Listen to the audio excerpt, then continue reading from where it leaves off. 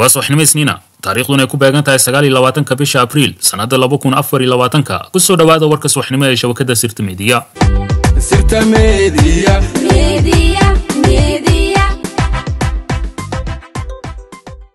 fadeexad weyn ayaa dhex taala wasaaradda gaashaandhigga ee soomaaliya gaadiid lagu sida raashin ay lahaayeen ciidanka sida gaarka u tababaran ee danab oo la beecinaya ayaa bartamaha caasimadda lagu qabtay dhowaan taasoona dhalisay in ciidamada maraykanka ay joojiyaan bixinta raashinkii ciidanka danab guddiga difaaca baarlamaanka federaalk soomaaliya ayaa soo farageliyay dhacdadan ceebaysay ciidankii dowladda iyo wasaaradda gaashaandhigga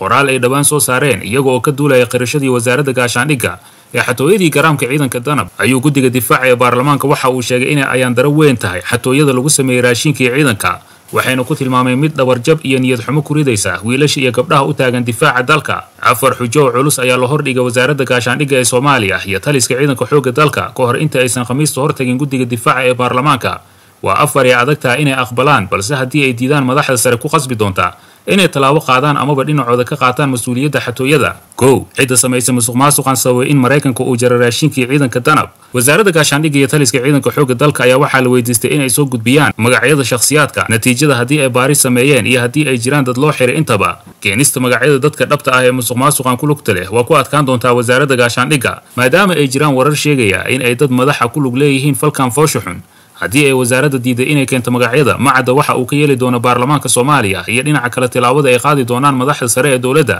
Wasaaradda gaashaandhigga qoraalkeeda hore kuma sheegin in dad loo xiray balse xubno ka mid a taliska ciidanka xoogga dalka waxa ay sheegayaan inay jiraan dad xiran qorshaha ee wasaaradda gaashaandhigga kula wareegaysa mas'uuliyadda bixinta raashinka danab. Maadaama la ilaalin waayo midkii deeqda ah oo laga iibsada suuqyada waa muhiim in la helaa qorshaha cusub ee bixinta raashinka iyo kalsoonida lagu qabi kara gacmaha wasaaradda gaashaandhigga sababta dowladda imaaraadka ee u jaratay mushaarkii iyo saadkii ay siin jirtay ciidanka arrintan oo horey loo sheegay inay musuq maasuq la xiriirto ayaa guddiga difaaca ee baarlamaanka weydiiyey wasaaradda gaashaandhigga haddii ay jiraan dad ku eedaysan arrintaasi. Sidoo kale waxaa hortaala sida laga yeelayo ciidanka ay dowladda imaaraadka gacanta ku hayn jireen oo ay ka goosteen mushaarka sida loo bixiyay qandaraasyada raashinka iyo kuwa saadka ee dhammaan ciidanka xoogga dalka qodobkan afaraad ayaa ah midka ugu muhiimsan lagana yaabo inay sababtay in wasaaradda ay diidtay la xisaabtanka baarlamaanka. Qodobkan waa ku adkaan doontaa wasaaradda gaashaandhigga maadaama qandaraasyada raashinka iyo saadka ciidanka sifo sharci daraa oo aan loo tartamin lagu siiyo mid ka mid ah xaasaska madaxweyne xasan sheekh maxamuud. Haddii wasaaradda ay aqbashay inay afartan arrimood ay ka jawaabto oo ay baarlamaankii ummadda soomaaliyeedba si dhaba ugu sharaxdo wax badan ayaa u hagaagi doona ciidanka xoogga dalka soomaaliyeed. Oo waxaa laga gudbi doonaa musuq maasuqa dowladaha caalamiga ahna waxa ay heli doonaan dariiq saxa oo ay ku sii caawiyaan ciidanka xoogga dalka.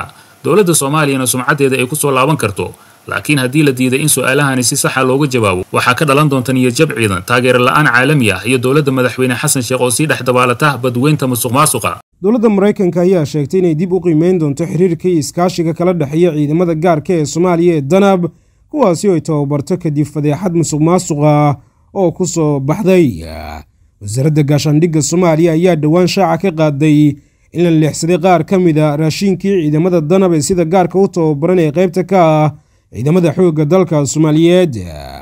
Wasaaradda ayaa shaacisay in la xiray saraakiil sare oo lagu tuhunsan yahay kiiskan. Waxay kaloo sheegtay inay arrintan ku wargelisay maraykanka islamarkaana inta baaritaanka uu socdo ay la wareegi doonto bixinta raashiinka ciidanka. Sarkaal maraykan ayaa u sheegay wakaaladda wararka ee royters in washington ay dhammaan eedaha musuq maasuqa u qaadanayso si dhab ah. Waxaan rajaynaynaa inaan kala shaqayno danab abuurista ilaalinta muhiimka iyo tallaabooyinka isla xisaabtanka si looga hortago dhacdooyinka mustaqbalka ee saameyn kara kaalmadeenna ayuu yidhi sarkaalka ilwaradyo kala duwan ayaa sheegay in dowladda maraykanka ay qorsheynayso inay joojiso taageerada ay siiso ciidamada danab marka la garo bisha juun ee sanadkan bayaanka ka soo baxay ayay wasaaradda difaaca ku sheegtay inay samaysay baaritaan dheliyey in shaqada laga joojiyo oo la xidho dhowr sargaal oo ka tirsan danab dowladda soomaaliya ma aysan shaacin goorta ay dhacday leexsashadan iyo nuuca raashiinka la leexsaday balse waxay sheegtay keliya dhacdadan kuna wargelisa dhinacyaday khusayso waxayna la wadaagi doontaa natiijada baaritaanadaasi markay soo idlaadaan wadahadalladii ugu dambeeyey labada dhinac ayaa dowladda federaalk soomaaliya oo la tashi dhow la gashay. Dowladda maraykanka waxay qaadi doontaa mas'uuliyadda bixinta raashiinka danab waxayna hadda si dhow ula shaqaynaysaa dowladda maraykanka si ay ula wadaagto mas'uuliyadda taakulaynta ciidamada danab ee xoogga dalka. Dowladda federaalk soomaaliya ayaa xoogga saaraysa la wareegidda amniga iyo taakulaynta ciidankeeda ayaa lagu yidhi bayaanka. Isla wararka arrimaha la xiriira musuq maasuqa lagula kacay ciidamada danab intaan ka bixin baarlamanka jamhuuriyadda federaalk soomaaliya ayaa si toosa u soo farageliyey xiisadda ka dhalatay musuq maasuqii lagu sameeyey raashiinka ciidamada sida gaarka u tababaran ee danab taasi oo keentay in dowladda maraykanka haatan ay ka fakarayso inay joojiso taakulaynta ciidamadaasi taasi oo saameyn ballaaran ku yeelan karta dowladda federaalk soomaaliya iyo ciidamada danab guddiga difaaca ee golaha shacabka war-saxaafadeed soo saaray ayaa shaaca ka qaaday in wax laga xumaado ay tahay arrinta dhacday oo qiraal ay ka samaysay wasaaradda gaashaandhigga soomaaliya oo iyadu shaacisay in saraakiil sare loo xiray. Falkaasi warbixinta guddiga ayaa lagu sheegay inay caddahay in la leexsaday raashiinkii ciidanka loona maamulay si ka baxsan nidaamka dowladnimada. Waxaa caddaatay in garaamkii loogu talagalay ciidamada la musuq loona maamulay si baalmarsan nidaamka haykalka dowladnimada ayaa lagu yidhi war-saxaafadeedka guddiga oo toos ugu dira warqaddan wasaaradda gaashaandhigga soomaaliya ayaa uga dalbaday in muddo toddoba maalmooda looga soo jawaabo qoraalkan si loo caddeeyo arrinta dhacday.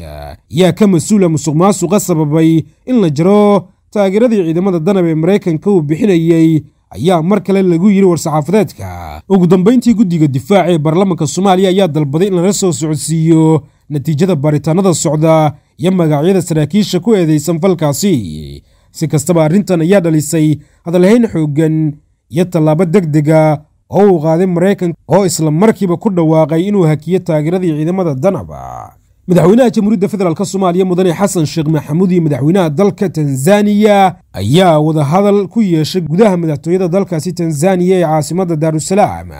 kulankan ayaa diiradda lagu saaray xoojinta xiriirka labada dal iyo in layska kaashado dhinacyada kala duwan oo ay ka wada faa'iidaysan karaan labada dhinac. Dhinacyada ay labada dal isku afgarteen inay ka wada shaqeeyaan ayaa waxaa ka mid a siyaasadda amniga difaaca iyo arrimaha bulshada caafimaadka waxbarashada beeraha dalxiiska iyo dhammaan arrimaha iskaashiga guud ee labada dal ay wadaagi karaan.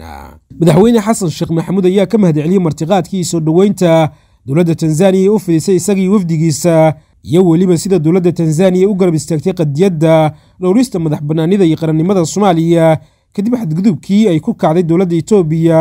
oo heshiis sharci darraa la gashay maamulka taliska muuse biixi cabdi. Madaxweyne xasan sheekh maxamuud ayaa ka mahadceliyey doorkii tanzaniya ay ka qaadatay in soomaaliya ku biirto urur goboleedka iskaashiga dhaqaalaha bariga afrika isagoona dhanka kale xusay in tanzaniya ay tusaale lagu dayin karo u tahay waddamada afrika intooda badan marka loo eego dhinacyada xasiloonnida siyaasadda wadajirka ummadeed iyo amniga